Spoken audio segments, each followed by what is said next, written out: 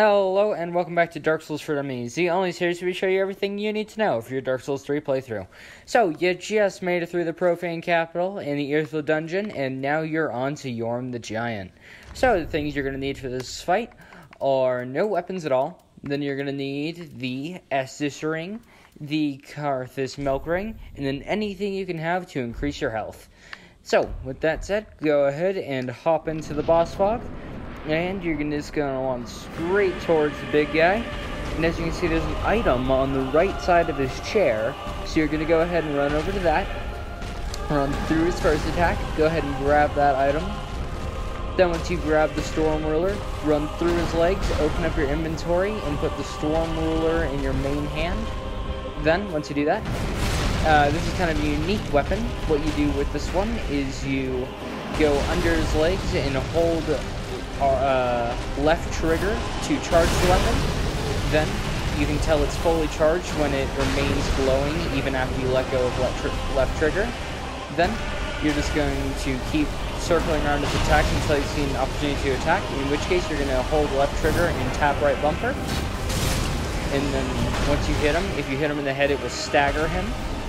Then, so you're just going to go back to the same strategy from last time, try and get under his legs, and start uh, charging up that weapon, making sure to wait for that glow. There we go. So, now you're going to wait for another attack. Try and hit his head once again. If you do miss, that's okay. Generally, you'll have enough time to recover.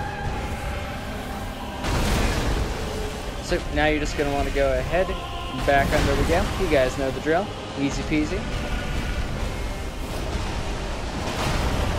Yeah, slam attack is very good to punish him, so make sure to always try and go for the slam there.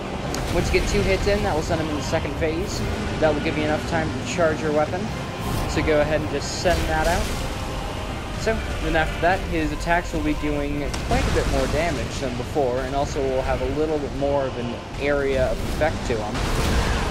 Uh, luckily, his stomp still does no damage to you, so don't be too worried if he sends out uh, at you.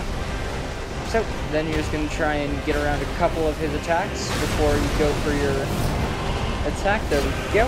Unless you miss again. That was beautiful, but, you know, we'll make it through. Back to the legs. Then charge, try and, yep, there we go. If he uses that attack, it's actually kind of a good thing. It will kind of force you away from him, which will give you some distance. Remember to aim for that head so you can stagger him. Try and get that last charge. There we go. Try and bait around the last attack. And send it off.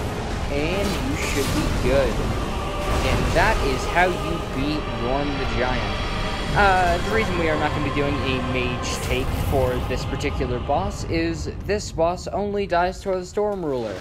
So using a mage, uh, I'd just be using the Storm Ruler as well. So, if you guys did enjoy the video, please remember to like and subscribe to continue getting back to the basics.